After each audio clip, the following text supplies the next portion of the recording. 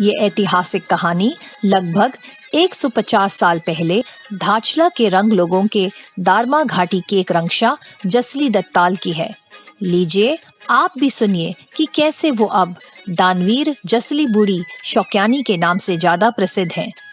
19वीं सदी में एक दिन उस समय के अंग्रेज़ सरकार के Kumaon commissioner sir Henry Ramsay अपनी वॉक पे जा रहे थे कि अचानक उन्होंने देखा कि एक महिला रो रो के अपने पैसे और कीमती जेवर नदी में बहाने की तैयारी कर रही थी।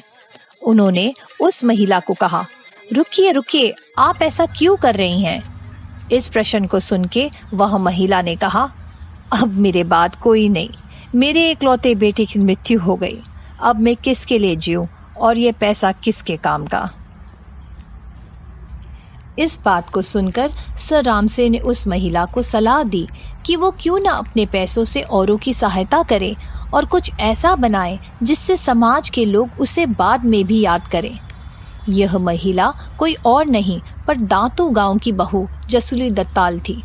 उन्हें अंग्रेज़ कमिश्नर की बात सही लगी और फिर उन्होंने अपने पैसों से न केवल अपने निकट की जगहों पे, पर समस्त कुमाऊं, गढ़वाल क्षेत्र से लेकर तिब्बत और नेपाल तक मुख्यत कैलाश मानसरोवर धार्मिक यात्रा और व्यापारिक मार्ग पर एक नहीं, दो नहीं, पर 200 से भी अधिक धर्मशालाएँ बनाई।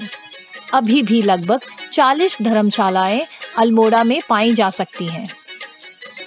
यह धरोहर न केवल सीमांत रंग समाज की महिला जिन्हें रंगशा कहा जाता है, की निशानी है, अपितु समुचे उत्तराखंड की ऐतिहासिक धरोहर है और सामाजिक कार्य हेतु अपनी व्यक्तिगत संपत्ति के सदप्रयोग की मिसाल है, जिसे न केवल रंग समाज के रंग कल्याण संस्था, पर उत्तराखंड सरकार भी मिलके बचाने की पूरी प्रयास कर रही है।